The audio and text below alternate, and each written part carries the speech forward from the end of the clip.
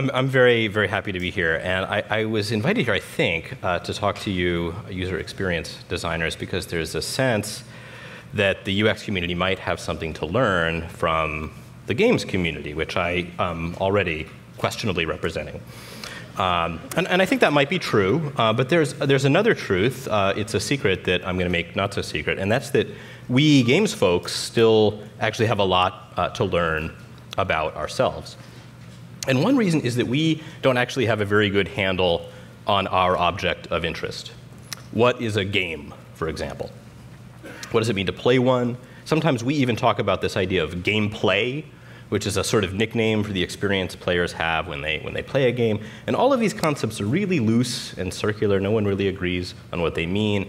And so they offer enough meaning that we can use them casually in ordinary conversation, uh, but not to really use them professionally, not to understand what's going on when we make and engage with the kinds of media that we call games. And if you think about it, you, will you'll, you'll realize that this is the case. Can you really tell the difference between a game and an app these days? What is that difference exactly? Do you know when something is being played versus when something is being used? What is that difference? Eh. Now, this, this is the worst of the lot, um, this, this word, and it's, the, it's what I want to talk to you about today. Um, because fun, after all, is the feature that is supposedly endemic to games, and it's the one that designers like yourselves sometimes want to extract from games and apply to websites and apps and whatever else, you know, make it fun. Now, in the world of game design, uh, fun is taken as a given. It rules as an assessment of artistic quality. A game has to be fun, we say. And, and in fact, that sentiment, that statement, is one that could easily be made uh, by an adolescent boy on an internet forum or by Nintendo's CEO in, in a keynote before 20,000 game developers at our annual conference, which takes place right across town. And if fun just indicates that a product is sort of any good, then I, I, guess it's a reasonable sentiment, but it's also a kind of mercilessly vacant one, right? Uh, I mean, the, the, unexamined weirdness of these terms uh, seems to go under discussed. Um, and it was actually best summarized, the, the weirdness of, of, of, concepts like fun and game was most, uh, most effectively summarized by one of the most well known 20th century philosophers of play, uh, Mary Poppins.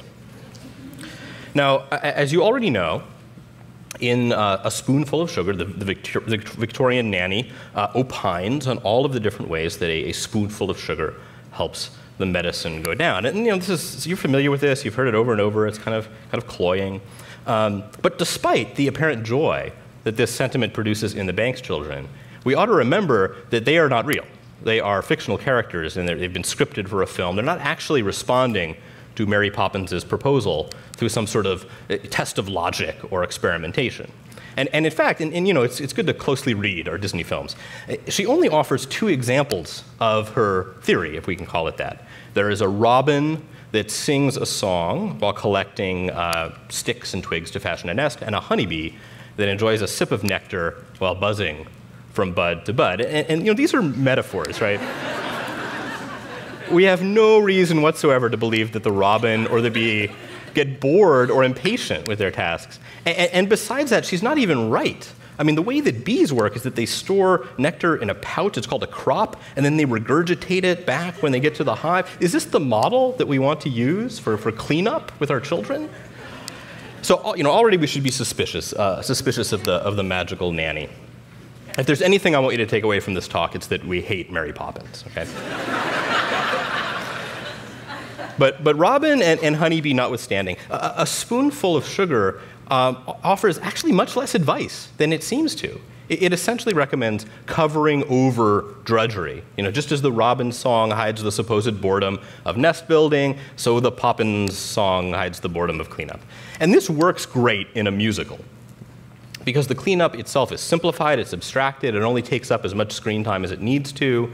But real effort can't be so easily conducted, right? You can't just continue singing spoonful of sugar choruses until you've cleaned your house. I mean, that would be awful.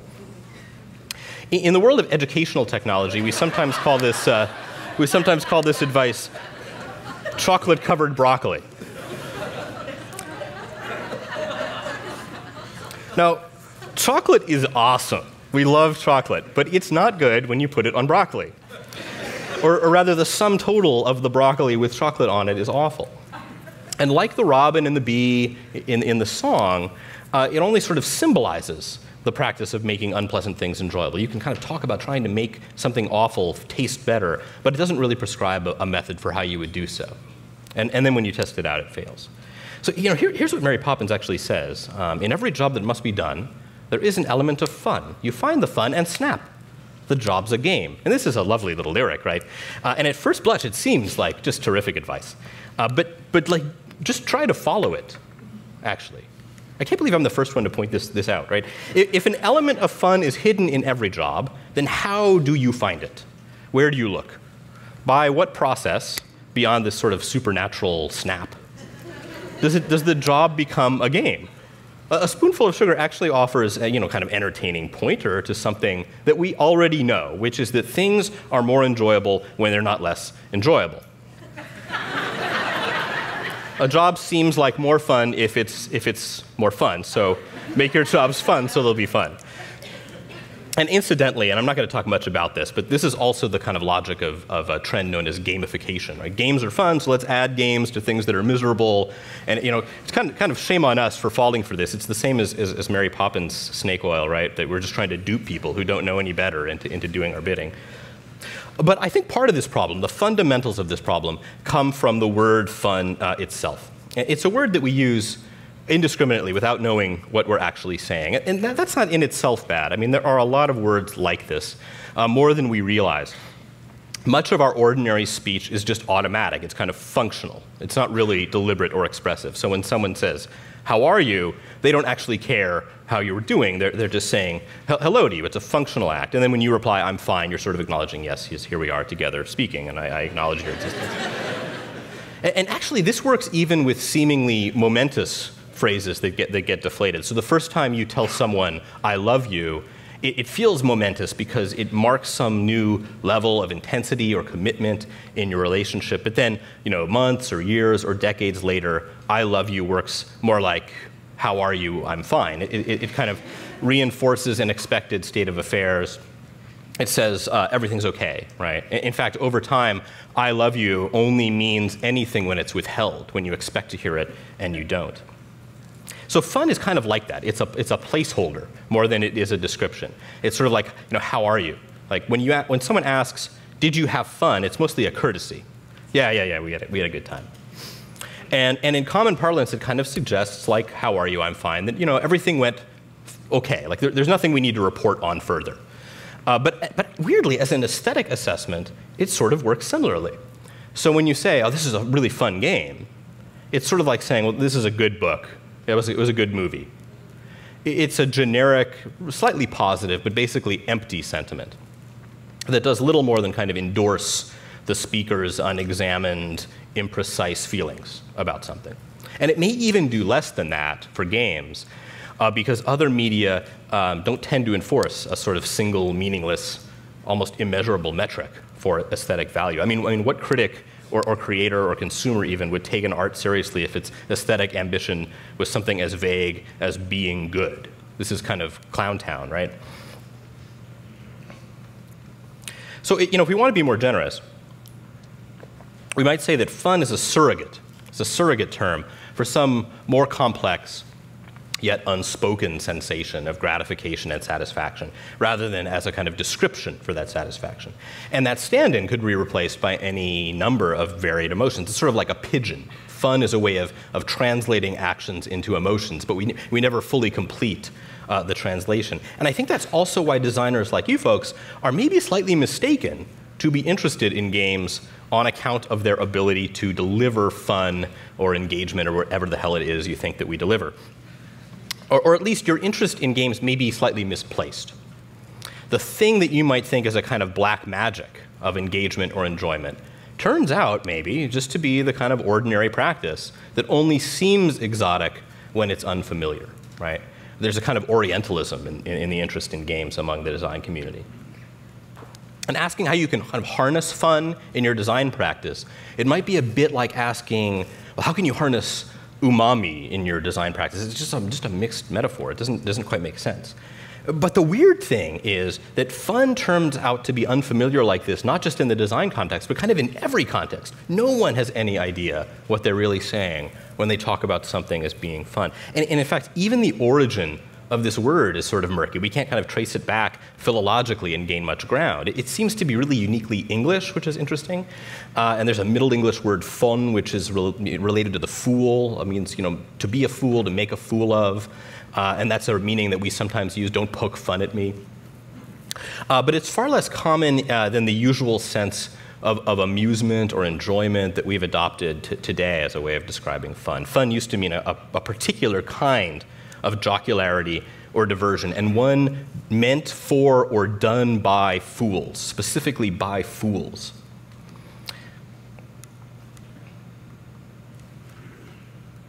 So, you know, fools and, and foolishness we usually think of as negative traits, but they don't, they don't have to be so.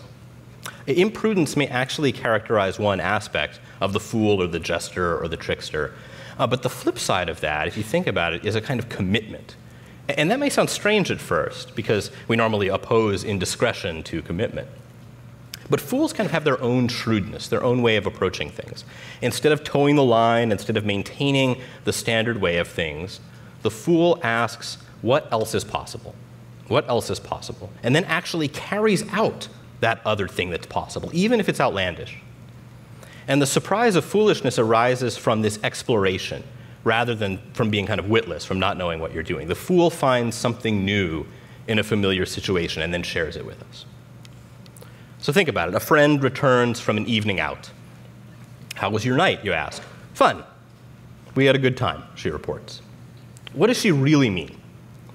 even with the same friends at the same bar, with the same hot wings and the same complaints about the same coworkers, the evening resulted in some new discovery. The way that a particular sense of humor responded to a particular story, or the way that a face blanketed a new worry with some kind of familiar gentleness.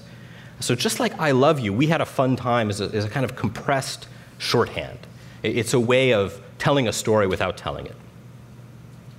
And, and this is where Mary Poppins leads us astray. The, the spoonful of sugar covers over something, it tries to hide it, it tries to turn it into a lie. It assumes that the situation itself is always insufficient, that it is never capable of holding up to scrutiny, that we've already figured out everything there is to determine about it, and that thing is, is, is negative, it's, it's, it's wanting. And, and that sing song job works in a movie, but actually, if you face a challenge like this in real life, a big messy room or a long boring flight or whatever it is, um, then the song and dance number just becomes an affectation. It's just an adornment.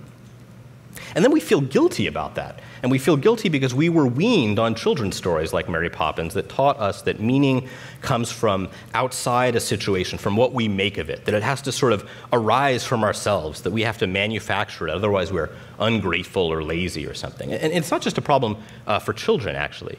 Uh, in, in their book, All Things Shining, the, the philosophers Bert Dreyfus and Sean Kelly talk about this exact same issue in the context of the depression and madness of our, of our secular age. And they argue that, that meaning today has to come from within because we've, we've forgotten about God, right? And so we can't just sort of choose the arbitrariness of, uh, of theology. And that this demand to make something wholly from scratch by sheer force of will is slowly eating away at us. It's driving us insane. Uh, David Foster Wallace becomes the sort of martyr for this cause in, uh, in Dreyfus and Kelly's book.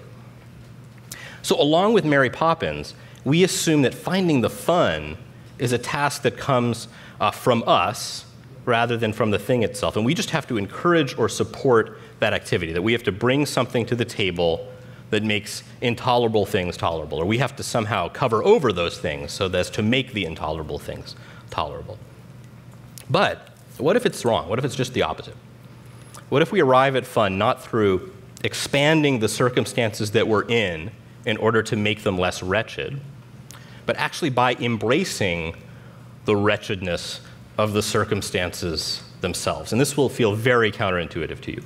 What if, in a, in a literal way, fun comes from impoverishment, from wretchedness? What if it's in the broccoli without the chocolate? The philosopher Bernard Suits argues that playing a game is the voluntary attempt to overcome unnecessary obstacles. A game is something that's good enough on its own, something for which on its ownness is precisely the point.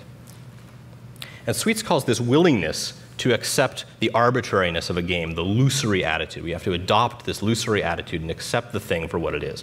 So golf would be worse than a good walk ruined were it a, a Broadway song and dance number about dropping balls in holes, maybe.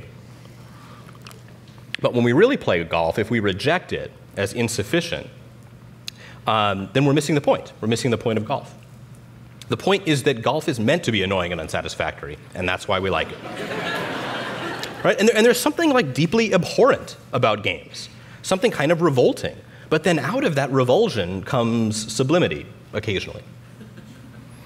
And, and, it's not just true for games. When you operate a mechanism like a steering wheel, we, we, we sometimes talk about the play that's built into that system. And, you know, a space through which the steering wheel can be turned before the, the shaft couples with and turns the pinion at its end. Or, or you can find this elsewhere too the play of light, uh, the play of the waves, a play on words.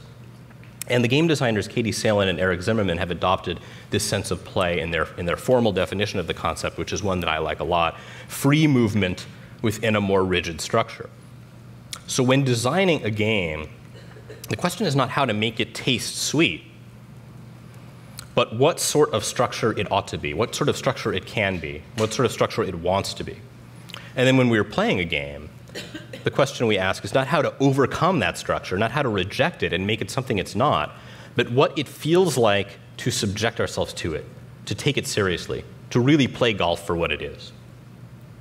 So play turns out not to be an act of diversion, but the work of working a system, of working with it, of interacting with the bits of logic that make it up. And fun is not the effect, it's not the enjoyment that's released by that interaction, but it's a kind of nickname for the feeling of operating it, particularly of operating it in a way we haven't done before, haven't seen before that lets us discover something within it that was always there, but that we didn't notice or we overlooked, or that we found before and now we're finding again. And the, colloquial senses of game or play or fun would hold that, that you know, those activities normally involve going outside the boundaries of normal behavior, of doing whatever we want. Right? That's usually what we think of when we play. Don't play with your food. And this is why designers, I think, are so interested in taking advantage of fun and why they are mistaken in thinking that fun relates to pleasure or to reward, when it's really just the opposite. Fun is related to structure, not to effect. So you can't add fun to something, no more than you can cover broccoli with chocolate. I mean, you can, but it doesn't work. You can only craft structures that might sort of excrete fun under certain conditions. And, and there's this paradox intrinsic in this process, in play. Play is an activity of freedom and openness and possibility, but it's one that arises from limiting our freedoms rather than expanding them. And it's why golf isn't just a nice walk ruined. Rather, as Suits put it, it's like asking us to accomplish something using only the means that are permitted by the rules of the game, where those rules prohibit us from doing so in a sensible way. They, they prohibit us from doing something efficiently in favor of less efficient means. And in fact, where those rules of inefficiency are accepted just because they make the activity possible. Otherwise, you just walk up and, and drop the ball in the hole. So, play is, is a material property of certain objects, like, like steering columns and, language in games. And fun is this, this sensual quality that emanates from it when you, when you kind of pet it, when you touch it in, in just the right way. Fun is like, like an admiration for the absurd arbitrariness of things. It, it's a name for the feeling of deliberately operating a constrained system. So rather than valorizing the act of play or the effect of fun, this perspective that I'm describing shifts the frame from play as an activity to play as a kind of condition of certain media. And it shifts the frame of fun from that of an experience to that of a kind of exhaust that's produced when, it, when an operator can treat a thing with dignity. And, and what does it look like when you treat something with dignity? Well, I mean, most of the time it doesn't look like very much at all, actually. It, it looks like shifting gears or knitting or, or, playing the guitar. These are things that we take seriously and we respect. And, and from an individual's perspective, a player or a, a, a user, if, if, you must call us that, uh, means taking something for what it is rather than for what it is not. And then following that conceit that this thing, this absurd thing, is what it is, and, and I'm going to take that to its logical extreme, beyond its logical extreme. What are all the things I could possibly do with this guitar? And then from a designer's perspective, this activity of creating fun means conceiving of something worthy of being taken as such. And then having the courage to kind of birth that out into the world, which is very hard. And not everything is fun, not because we haven't added fun to it, but not everything is fun because not everything has earned it. And this isn't really how we think about craft or experience these days, right? We think that everything has equal right to be celebrated and successful and treasured. But in fact, I think the things that we find the most fun, they are not really like that at all. They're not easy, but they're hard. They don't, they don't pander. They don't apologize. They don't onboard. If anything, they, they resist you. I mean, they literally resist you. And it's that resistance that inevitably lets the fun escape. So if you want to design something fun, you have to almost let it go. You, you have to trust that it will pay dividends, or if it, if it won't, you won't know right away. And you, in that respect, you have to give it time. Fun design is a kind of slow design. But then every now and then, we get a hint of how deep a system goes when we let it steep long enough and, and then we sip at it just right. So in, in, the summer of 2010, John Isner and Nicolas Mahut played a match of tennis for three days at Wimbledon. Uh, and this was a, a remarkable thing if you're a tennis fan. But it was also a remarkable thing if you're not a tennis fan.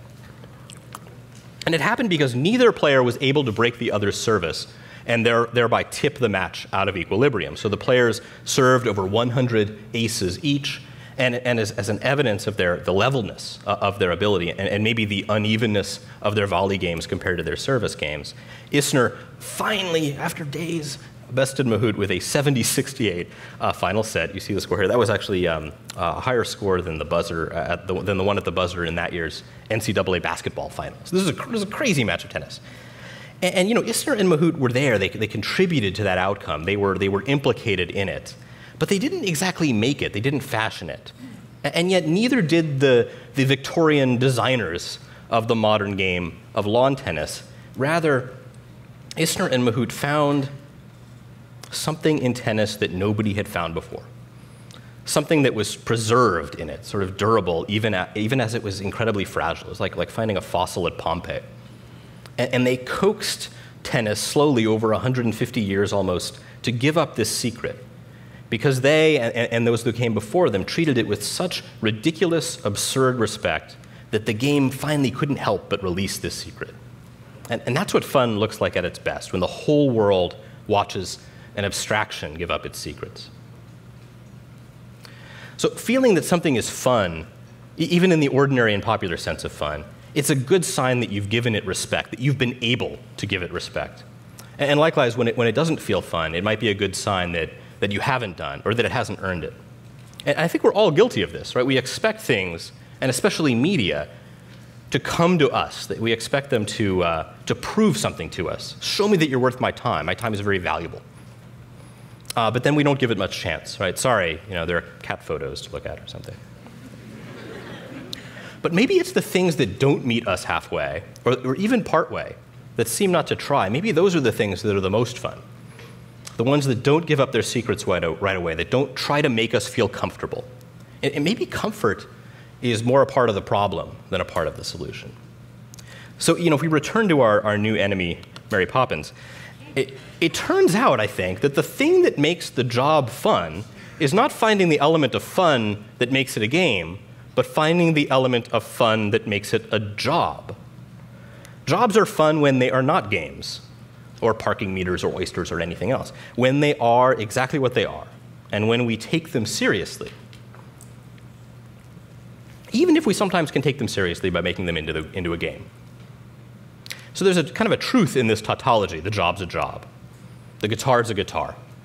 Really and truly taking something as a unique and discrete thing in the world that is nothing other than what it is, and really making something that means to be exactly what it is, that deserves to be exactly what it is, rather than lying about it to try to gain advantage. Or, or sometimes, and I know this is hard, not making the things that can never meet that bar for earnestness. So we fail to have fun, or we kind of fail to facilitate fun, because we don't take things seriously, not because we take them too seriously. It's not that we're not having enough enjoyment. And there's a kind of weird foolishness or, or, or gullibility or even insanity in, in, this practice. But, but it's also no surprise if you remember that fools and fun are connected. The fool is infatuated. I'm a fool for you, we sometimes say.